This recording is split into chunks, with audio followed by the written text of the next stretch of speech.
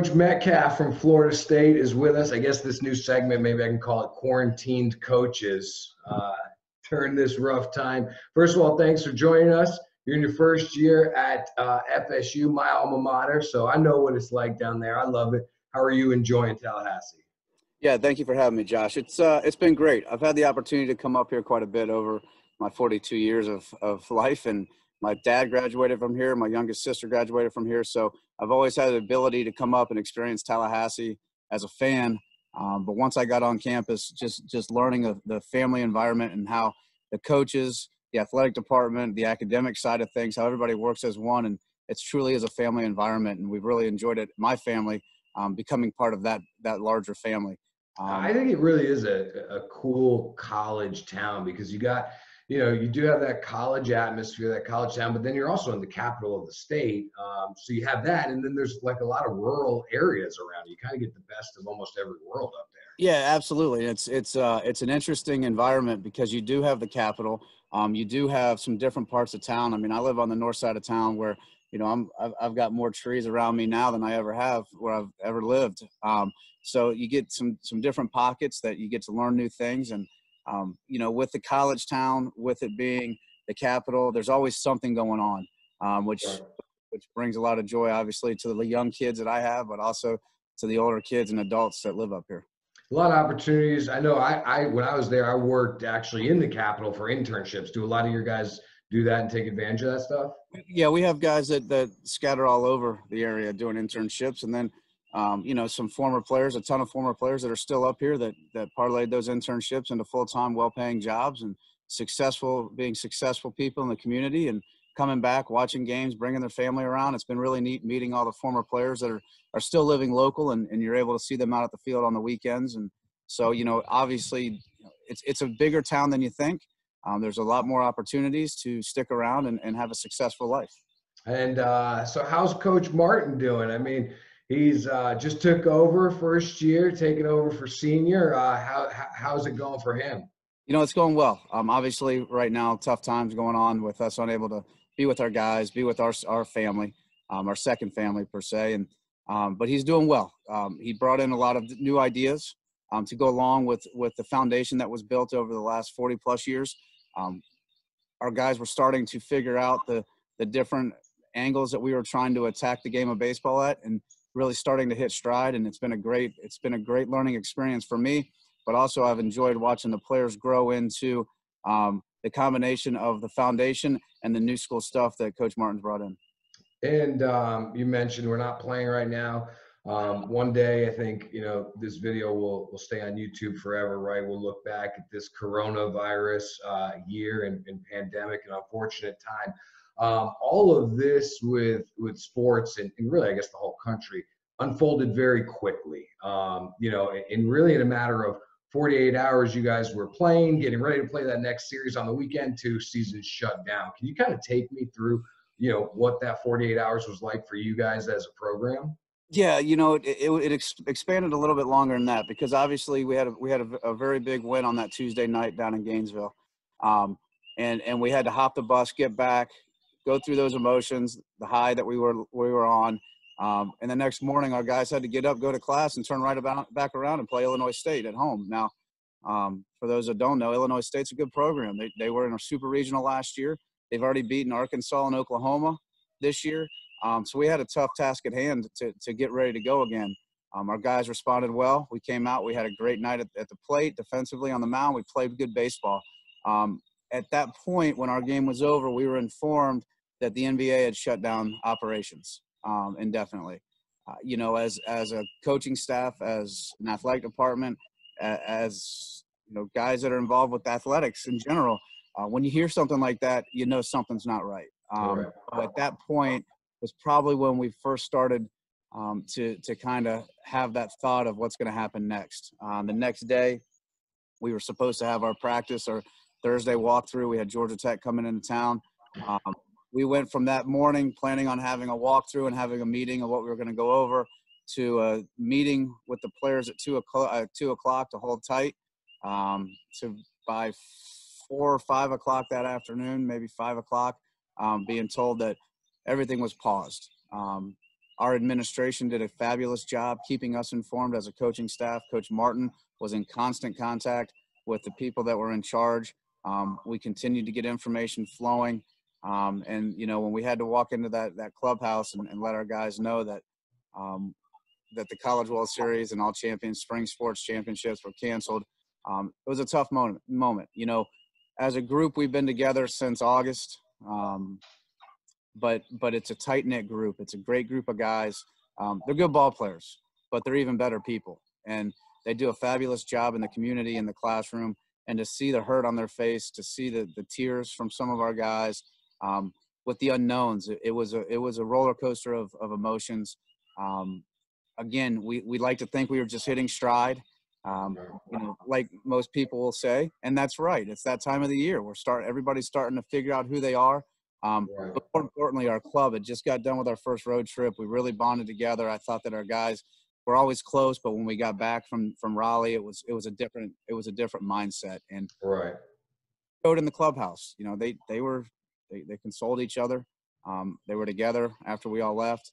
Um, but they have to understand, and, and they do, that this is bigger than sports, unfortunately, at this point. And, um, you know, there's health and, and, and, wellness that has to be kept in mind. And so we continue to educate them um, and, and talk through the process and, and our, our training staff, again, our, our leadership up top, our strength and conditioning, everybody's working on one to make sure these guys are educated and understand the importance of, of what's out there and, and how we, how we prevent ourselves from, from spreading this coronavirus.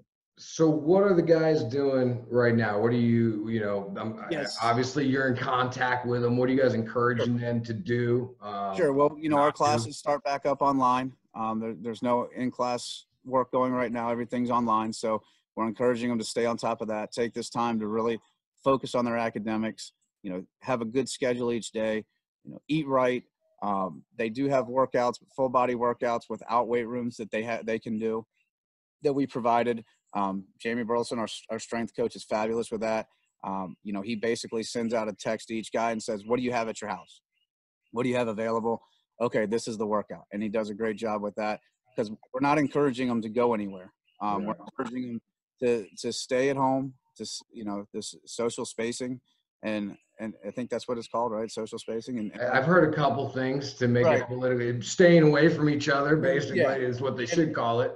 Right, and we're encouraging that, but but you know, um, I, I, don't know if it's Rocky Four or Rocky Five when he goes out in the mountains in the snow right. working by himself. You know, I mean, right.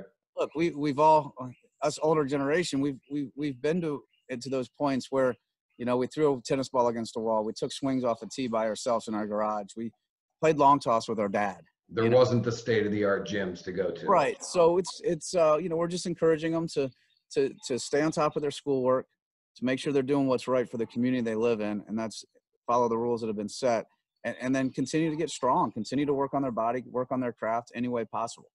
Right, and I think that's a good message for for even the you know the guys that I work with more often, the the travel, the high school guys, the you know not the college players. Is there's plenty to be doing right now, right? Even oh, absolutely, absolutely. I mean, you know, you, you push up back in the day, push ups and pull ups and sprints used to be the thing to do. I mean, right. by yourself. I mean, you, there's things you can do. Um, there's plenty of video and resources out there to show you things that you can do. Right. Um, the important thing is, is you, you want to continue to better yourself. Everybody's itching to do their regular routine. Um, but I think the bottom line is we have to stay safe and, and, and keep in mind that the health and well-being of our, our, our community and our, and our country and the people around us. No doubt. Um, moving forward, right? Uh, there's there's obviously a lot of questions right now. Um, I think there's some people on on on my end that believe you guys have the answers and you're just not sharing them yet. So what what do you got for us? Yeah, I mean, you know, when they when they shut the when they shut the um, championship events down, um, you know, it was it was a waterfall effect, and, and the next thing obviously that happened where all the conferences shut down the season and their conference championships. At that point, there was a lot of questions, and and to be quite honest, we still have questions. Um, there's a lot of different tentacles that are coming out of these decisions. Um, you know, eligibility, um, scholarship size, allotments for each school, um, roster sizes, and we don't have the answers. You know, there's there's there's a lot of people out there that are saying, well, everybody's going to stay. Well, we haven't heard that yet. We haven't gotten that in writing. We don't have the answers. It's if it's just seniors, if it's everybody, if it's nobody. Um, I think the bottom line is to, is to be patient.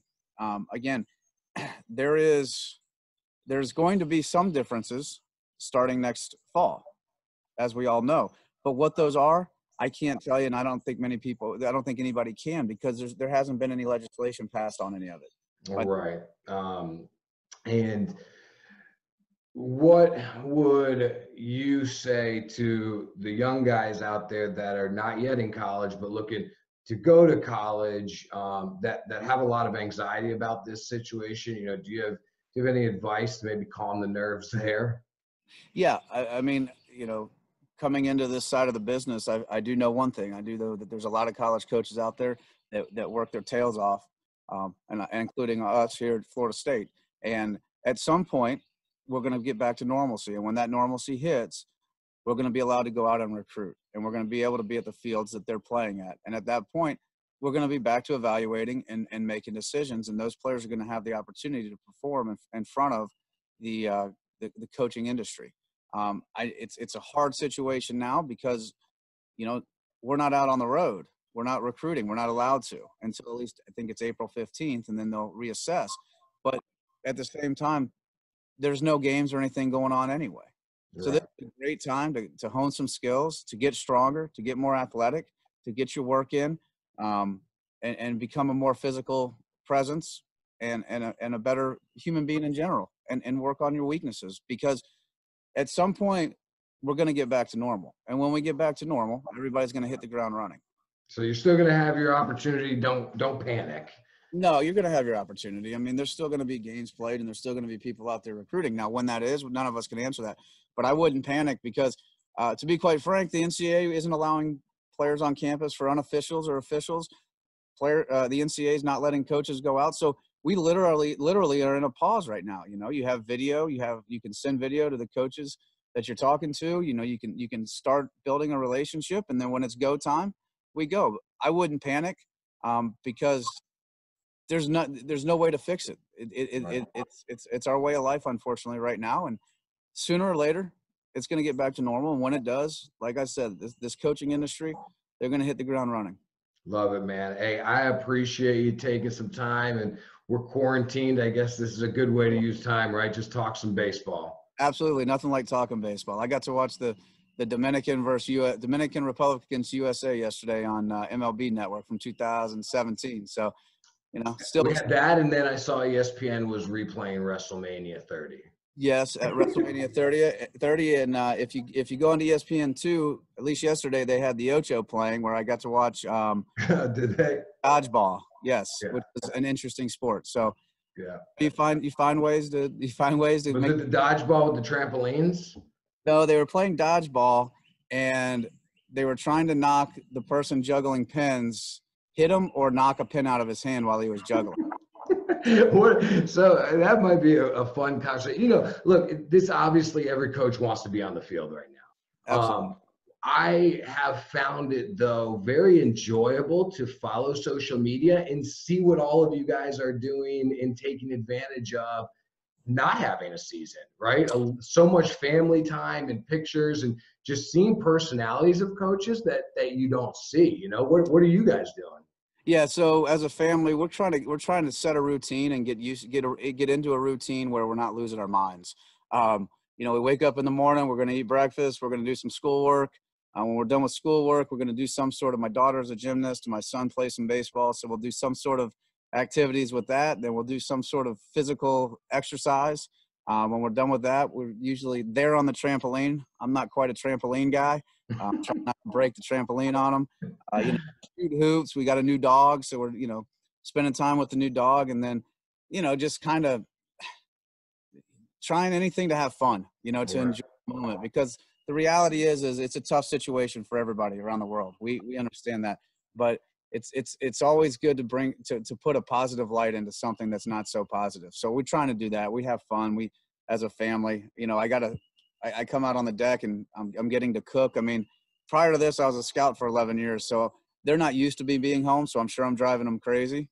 Right. Much, but uh, you know, my teaching my son how to use a grill and how to smoke some some barbecue. Um, you know, just just little things. Right. that dang that dang road across the street that has the hill that's kicking my butt. I can tell you that. Trying to run. Yeah.